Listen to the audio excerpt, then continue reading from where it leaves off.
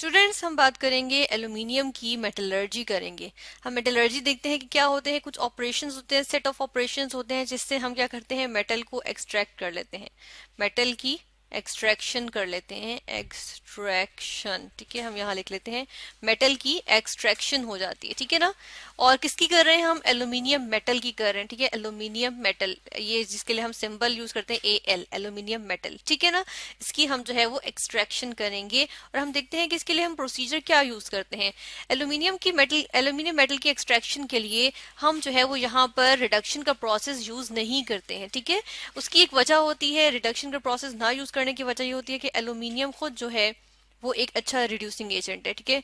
Good reducing agent है। तो जो कार्बन से हम हम कार्बन से जो रिड्यूसिंग रिडक्शन करते हैं कार्बन से यानी कार्बन डाइऑक्साइड इंट्रोड्यूस करवाते हैं या कार्बन से जो रिडक्शन की जाती है वो हम यहाँ पर नहीं करते ठीक है ना? इस केस में हम गुड रिड्यूसिंग एजेंट होने की वजह से एल्यूमिनियम की नहीं करते हैं ठीक है?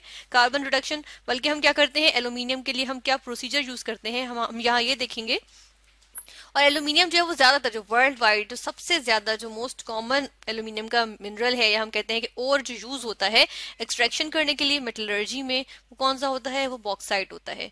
ये बॉक्साइड के जो है वो हमारे पास जो है वो आ गया कि बॉक्साइड किस तरह का होता है? ठीक है? और इसमें हम देख रहे हैं, इसको हम कहते हैं बॉक्साइड ठीक है? Bauxite B A U X I T E bauxite ठीक है ना? और इसके लिए हम अगर इसे केमिकल फॉर्मूला देखें कि बॉक्साइड का केमिकल फॉर्मूला क्या होता है?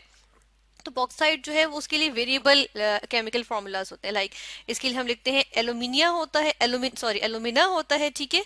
एलुमिना यानी कि A L two O three जिसको एलुमिनियम ऑक्साइड कहते हैं और एलुमिना भी कहते हैं, ठीक है? और ये हाइड्रेटेड होता है, इसके अंदर कुछ number of water of water molecules भी मौजूद होते हैं, ठीक है? कुछ वाटर ऑफ़ मॉलिक्यूल्स भी मौजूद होते हैं तो इसलिए हम यहाँ पे एन लिख देते हैं, ठीक है ना? क्योंकि समटाइम्स हम कहते हैं टू टू वाटर मॉलिक्यूल्स हैं थ्री होते हैं समटाइम्स हम एक ही की बात करते हैं, ठीक है?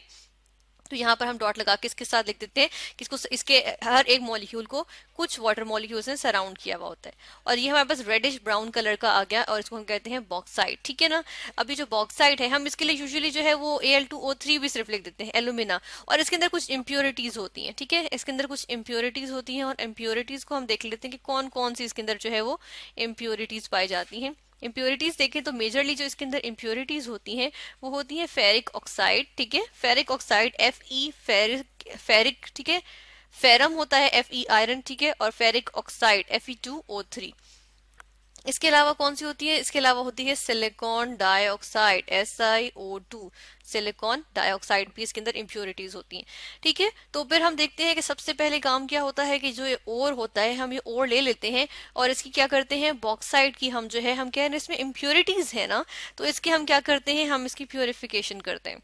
ठीक है? इसकी सबसे पहले जो की जाती है, वो होती है प्योरिफिकेशन प्योरिफिकेशन ऑफ़ बॉक्साइड ठीक है ना? बॉक्साइड की हम प्योरिफिकेशन करते हैं और प्योरिफिकेशन में हम क्या करते हैं कि इसमें से जो है वो क्या रिमूव करते हैं? इसमें से हम जो है वो फेरिक ऑक्साइड ठीक है? और सिलिकॉन डाइऑक्साइड जो है वो इसके जो है वो एलिमेंट इसका जो है वो कंटेंट रिमूव करते हैं, ठीक है ना? इन इम्प्योरिटीज को रिमूव करना होता है।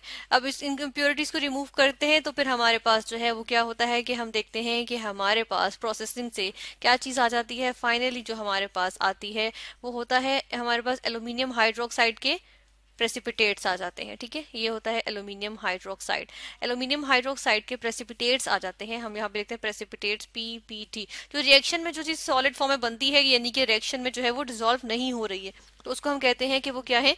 प्रेसिपिटेट्स है, ठीक है? जो प्रोडक्ट्स में बनते हैं। फिर हम ये देखते हैं कि जो ये एल्यूमिनियम हाइड्रोक्साइड के प्रेसिपिटेट्स आते हैं, हम क्या कर लेते हैं, हम इनको जो है वो डिकम्पोज करते हैं, ठीक है? Decompose P O S E decompose कर लेते हैं। डिकम्पोज को हम सही तरह लिख लेते हैं। Decompose C O M P O S E या हम कहते हैं डिकम्पोजिशन हो जाती है इनकी। और इनकी डिकम्पोजिशन हम जब करते हैं तो हमारे पास क्या चीज़ हासिल होती है? हमारे पास हासिल हो जाता है प्योर एलुमिना ठीक है?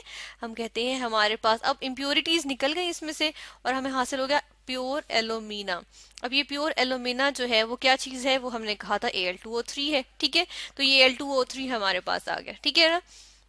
उसके बाद हम क्या करते हैं, हम इस प्योर एलुमिना को, जिसको हम क्या कहते हैं A L two O three कह रहे हैं, हम इसको क्या कह रहे हैं A L two O three तो इसकी हम क्या करेंगे, हम यहाँ पर फिर इसकी जो है वो, हम यहाँ पे इसकी प्योरिफिकेशन करते हैं, इसकी इलेक्ट्रोलिसिस करते हैं कि हमें इसमें से अब हमें क्या हासिल करना है, इसमें से एल्यूमिनियम हासिल करना है। तो इसमें से एल्यूमिनियम हासिल करने के लिए हम इसकी जो है वो इलेक्ट्रोलिसिस करते हैं, ठीक है? अब जो प्रोसेस होता है, उसको हम कहते हैं इलेक्ट्रोलिसिस ठीक है?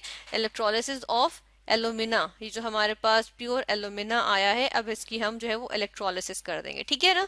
और इसकी जब हम इलेक्ट्रोलिसिस करते हैं तो उसमें हम देखते हैं हमारे पास क्या चीज़ फाइनली हासिल हो जाती है?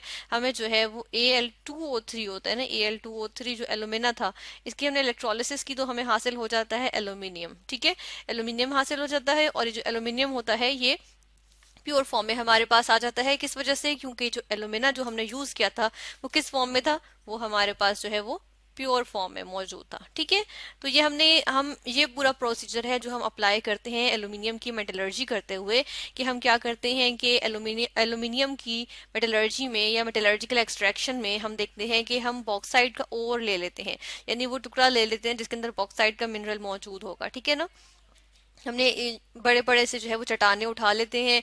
उनकी जो है, उनको भी हम उसमें से क्या करते हैं कि उनकी क्रश करके और ग्राइंड करके उनको जो है वो छोटे छोटे पार्टिकल्स में कर लेते हैं। उनके अंदर से इम्प्योरिटीज रिमूव बॉक्साइड में, क्योंकि हम देखते हैं इम्प्योरिटीज होते हैं जो नेचुरली अक्रिंग बॉक्साइड है। ठीक है ना? तो हम देखते हैं कि उसके अंदर फेरिक ऑक्साइड और सिलिकॉन डाइऑक्साइड की इम्प्योरिटीज होती हैं। उन इम्प्योरिटीज को हम क्या करते हैं? रिमूव करते हैं, यानी कि बॉक्साइड को प्योरीफाई या रिफाइन करते हैं, ठीक है? और हमारे पास हासिल होता है एक स्टेज पे एलुमिनियम एल्यूमिनियम हाइड्रोक्साइड के प्रेसिपिटेट्स एलुमिनियम हाइड्रोक्साइड के प्रेसिपिटेट्स को हम क्या करते हैं? डिकम्पोज करते हैं हाई टेम्परेचर पे हमारे पास हासिल होता है एल्यूमिना अब ये जो एलुमिना होता है, ये क्या होता है? ये जो है वो प्योर, हमारे पास प्योर फॉर्म में आता है, प्योर एलुमिना होता है, ठीक है ना? और ये प्योर एलुमिना जो होता है, इसकी जब हम इलेक्ट्रोलिसिस करते हैं तो हमें हासिल हो जाते हैं एल्यूमिनियम ठीक है ना? इससे हम फाइनली हम क्या हासिल कर लेते हैं? हम यहाँ देखते हैं कि हमें फाइनली हासिल हुई है एल्यूमिनियम ठीक है? तो ये हमारे पास थी मेटलर्जिकल एक्सट्रैक्शन ऑफ़ एल्यूमिनियम